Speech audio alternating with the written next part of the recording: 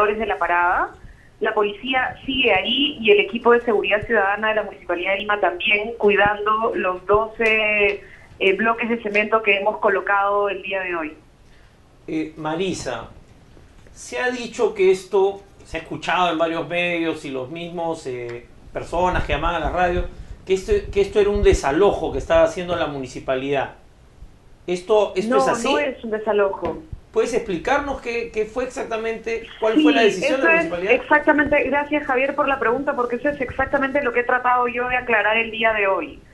Eh, muchas personas han exigido que nosotros hagamos un desalojo y no lo hemos querido hacer porque sabíamos que un desalojo iba a terminar con un costo y con un nivel de violencia mucho mayor que el que hemos tenido el día de hoy.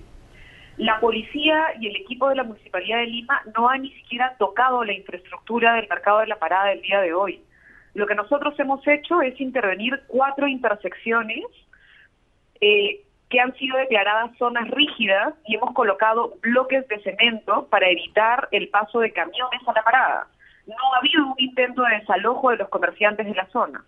Ahora, ¿y por qué se ha producido entonces esta, esta reacción que, que, eh, uno que conoce un poco de estas cosas dice esto no es una cosa eh, eh, de una reacción normal. empática normal, ¿no? O sea, eran miles, cientos de personas eh, agita, eh, manifestantes, en fin, que tiraban piedras y golpeaban policías. Eh, mira, Javier, yo creo que han llegado a ser miles de personas. Eh, como ha señalado el, el, ministro del Interior, hoy día eh, se ha contado con 5.000 efectivos en todo el operativo. Y si uno ve las imágenes en las esquinas, los manifestantes, los, la, los delincuentes, porque yo creo que son delincuentes contratados, la verdad, eh, son bastantes más que la policía en todos los casos, ¿no? Eh, mira, yo primero que nada quisiera solidarizarme con la familia de los policías heridos y también de la persona que ha muerto el día de hoy. Eh, es una pena enorme para nosotros, es algo que nos entristece muchísimo y esperamos que se esclarezcan las razones y la situación en la cual esta persona ha fallecido. Eh, ha sido todo muy confuso y hay mucha duda alrededor de lo que ha ocurrido en el entorno pero en todo caso señalar, Javier, que el nivel de violencia de los delincuentes el día de hoy era algo realmente sorprendente.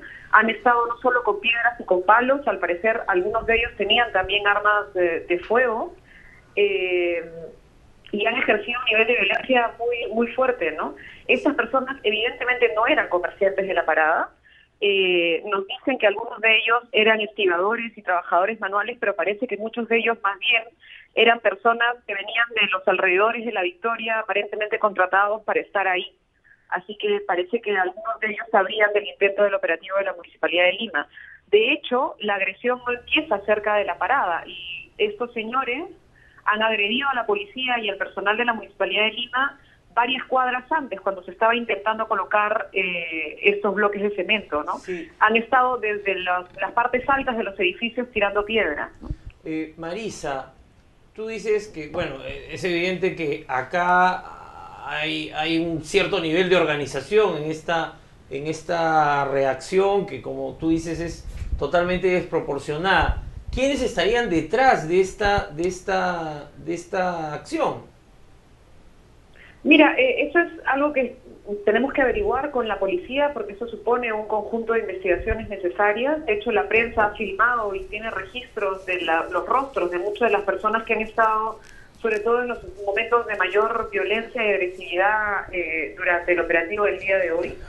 Eh, yo, la verdad, estoy eh, sorprendida por el sector de los comerciantes que aparentemente podría estar alrededor de esto hay un sector de comerciantes que quiere irse a Santa Anita y que está siendo duramente cuestionado e incluso amenazado por otro sector que no quiere el traslado, ¿no?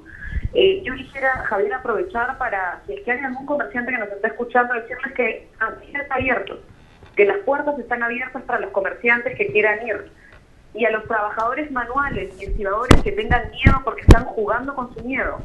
Porque hay gente de Sendero Luminoso metido en las asociaciones también ahí y eso ha sido denunciado también por la prensa, decirles que la Municipalidad de Lima ha ofrecido programas de reinserción laboral hemos ofrecido programas de capacitación y de búsqueda de otro tipo de alternativas de mercado a los que no puedan ser integrados al nuevo sistema de mayoreo.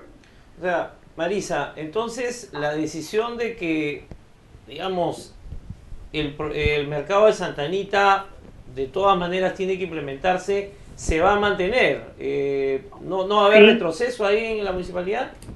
No, no, no, no, no. Santanita, el único mercado mayorista autorizado para vender en mayoreo hoy en Lima es Santanita.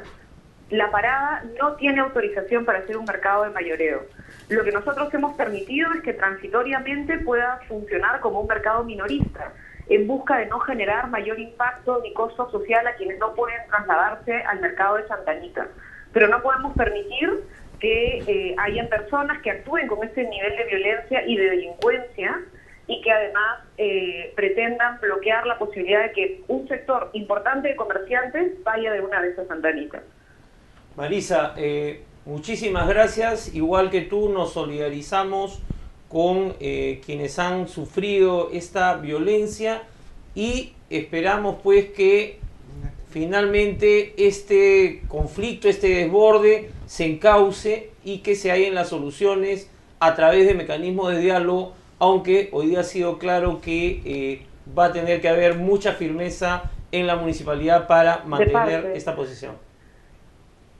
Javier, gracias por la entrevista, pero además decirte una última cosa. Las mesas de diálogo en la Municipalidad de Lima están abiertas, hemos mantenido el diálogo de manera permanente, hemos tenido diálogo diferenciado por rama, hemos tenido diálogo diferenciado por cada uno de los actores que están dentro y en los alrededores del mercado para trabajar con ellos alternativas. Hemos flexibilizado varias de las medidas que ellos consideraban muy rígidas para mudarse al nuevo sistema de mayoreo. Hemos permitido cambiar algunos de los temas, eh, como por ejemplo costos de alquiler, eh, temas que tenían que ver con montos mínimos de transacción. Varios de los elementos que ellos han pedido han sido aceptados y se han modificado. La voluntad de diálogo de la Municipalidad de Lima ha sido permanente y sigue siendo permanente. Muy bien, muchísimas gracias Marisa y estaremos, ojalá, conversando acá en vivo pronto en el arriero sobre este y otros temas de la política municipal. De todas maneras, Javier, muchas gracias por llamar y un abrazo. Gracias.